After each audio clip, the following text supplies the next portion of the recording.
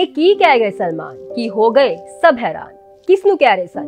ਬਿਨ ਫੇਰੇ ਬੰਨਾ ਚਾਹੁੰਦੇ ਆ ਤੇਰੇ ਸਤਿ ਸ਼੍ਰੀ ਅਕਾਲ ਜੀ, ਤੁਸੀਂ ਵੇਖ ਰਹੇ ਹੋ ਵਰਲਡ ਪੰਜਾਬੀ ਡਿਜੀਟਲ ਤੇ ਮੈਂ ਹਾਰੂਹੀ ਗਲੋਵਰ ਬਾਲੀਵੁੱਡ ਦੇ ਭਾਈਜਾਨ ਸਲਮਾਨ ਖਾਨ ਇਸ ਵੇਲੇ ਚਰਚਾਵਾਂ ਦਾ ਵਿਸ਼ਾ ਬਣੇ ਹੋਏ ਨੇ। ਜੀ ਹਾਂ, ਬੀਤੇ ਦਿਨੀ ਸਲਮਾਨ ਖਾਨ, ਰਜਤ ਸ਼ਰਮਾ ਦੇ ਫੇਮਸ ਸ਼ੋ ਆਪ ਅਦਾਲਤ ਦਾ ਹਿੱਸਾ ਬਣੇ ਤੇ ਹੁਣ ਜ਼ਾਹਿਰ ਜੀ ਗੱਲ ਹੈ, ਅਦਾਲਤ ਹੈ ਤਾਂ ਕਟਕਰੀ ਵਿੱਚ ਵੀ ਬਿਠਾਏ ਜਾਣਗੇ ਤੇ ਸਵਾਲਾਂ ਦੇ ਜਵਾਬ ਵੀ ਦੇਣੇ ਹੀ ਪੈਣਗੇ। ਦੱਸਦੇ ਇਸ ਦੌਰਾਨ ਸਲਮਾਨ ਖਾਨ ਤੋਂ ਕਾਫੀ ਸਾਰੇ ਸਵਾਲ ਪੁੱਛੇ ਗਏ, ਪਰ ਇੱਕ ਸਵਾਲ ਦਾ ਸਲਮਾਨ ਖਾਨ ਨੇ ਅਜਿਹਾ ਜਵਾਬ ਦਿੱਤਾ ਕਿ ਹਰ ਕੋਈ ਸ਼ੌਕ ਰਹਿ ਗਿਆ। हर किसी का यही रिएक्शन सी।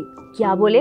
दरअसल शो दौरान सलमान खान ने करण जौहर दे बिना व्यादे डैड बनन दी गल की सलमान खान ने क्या हाँ मैं भी अजिहा करण की कोशिश कर रहा सी, पर फिर कानून बदल गया। जी हाँ रजत शर्मा दे शो आपकी अदालत भी सलमान खान ने बेबी प्लानिंग दी गल की सलमान खान ने कहा, अब क्या बोलूँ? वो प्लान तो था बहू का प्लान नहीं, मगर बच्चे का इरादा था, लेकिन अब वो कानून के हिसाब से इंडिया में नहीं हो सकता है। ऐसे में देखेंगे कि क्या किया जा सकता है। यह सलमान खान ने क्या कि वो पिता तो बनना चाहते ने, पर भारतीय कानून के तहत ये करना हूँ पॉसिबल ने। भाईजान ने क्या कि वो बच्चों बहुत प्यार कर देने थे एक बार बच्चा पैदा करने बारे सोच भी रहे सन, पर भारत विच अजिहा संभव नहीं है। उन्होंने कहा बच्चों का बड़ा शौक है मुझे उनसे बहुत प्यार है लेकिन बच्चे जब आते हैं तो माँ भी आती है माँ उनके लिए बहुत अच्छी होती है वैसे तो हमारे घर में माँ ही माँ है सर हमारे पास पूरा जिला है पूरा गांव है वो सब बच्चे का ख्याल रख लेंगे लेकिन मेरे बच्चे की असली माँ भी मेरी पत्नी होगी इस तो इलावा भी सलमान खान तो काफी सारे सवाल पूछे गए जिससे उन्होंने बड़े ही दिलचस्प जवाब ਦਿੱਤੇ ਆਪਣੇ ਵਿਆਹ ਦੀ ਯੋਜਨਾ ਬਾਰੇ ਗੱਲ ਕਰਦੇ ਹੋਏ ਸਲਮਾਨ ਨੇ ਕਿਹਾ ਮੇਰੇ ਤੇ ਬਹੁਤ ਪ੍ਰੈਸ਼ਰ ਹੈ ਹੁਣ ਤਾਂ ਮੇਰੇ ਮਾਪੇ ਵੀ ਗੱਲਾਂ ਕਰਨ ਲੱਗ ਪਏ ਨੇ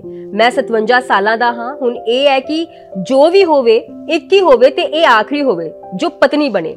ਇਹ ਤਾਂ ਹੀ ਹੋਵੇਗਾ ਜੇ ਰੱਬ ਨੇ ਚਾਹਿਆ। ਪਾਸ ਵਿੱਚ ਜਦੋਂ ਮੈਂ ਹਾਂ ਕਿਹਾ, ਦੂਜਿਆਂ ਨੇ ਨਹੀਂ ਕੀਤੀ। ਕਈ ਵਾਰ ਇਸ ਦੇ ਉਲਟ ਵੀ ਹੋਇਆ। ਪਰ ਹੁਣ ਦੋਵਾਂ ਪਾਸਿਆਂ ਤੋਂ ਗੱਲ ਨਾ ਵਿੱਚ ਹੀ ਹੋ ਰਹੀ ਹੈ। ਜਦੋਂ ਹਾਂ ਹੋ ਗਈ ਤਾਂ ਵਿਆਹ ਵੀ ਹੋ ਜਾਵੇਗਾ। ਆਖਰੀ ਬ੍ਰੇਕਅਪ ਬਾਰੇ ਗੱਲ ਕਰਦੇ ਸਲਮਾਨ ਖਾਨ ਨੇ ਕਿਹਾ ਕਿ ਜਦੋਂ ਪਹਿਲਾ ਬ੍ਰੇਕਅਪ ਹੋਇਆ ਤਾਂ ਮੈਨੂੰ ਲੱਗਾ ਕਿ ਇਹ ਮੇਰੀ ਨਹੀਂ ਉਸ ਦੀ ਗਲਤੀ ਹੈ। ਮੈਂ ਦੂਜੇ, ਤੀਜੇ ਬ੍ਰੇਕਅਪ ਤੱਕ ਇਹੀ ਸੋਚ ਰਿਹਾ ਸੀ। ਪਰ ਚੌਥੇ ਬ੍ਰੇਕਅਪ ਤੋਂ ਬਾਅਦ ਮੈਨੂੰ ਆਪਣੇ ਆਪ ਤੇ ਥੋੜਾ ਸ਼ੱਕ ਹੋਇਆ ਤੇ ਫਿਰ ਉਸ ਤੋਂ ਬਾਅਦ ਸ਼ੱਕ ਹੋਰ ਵੱਧ ਗਿਆ।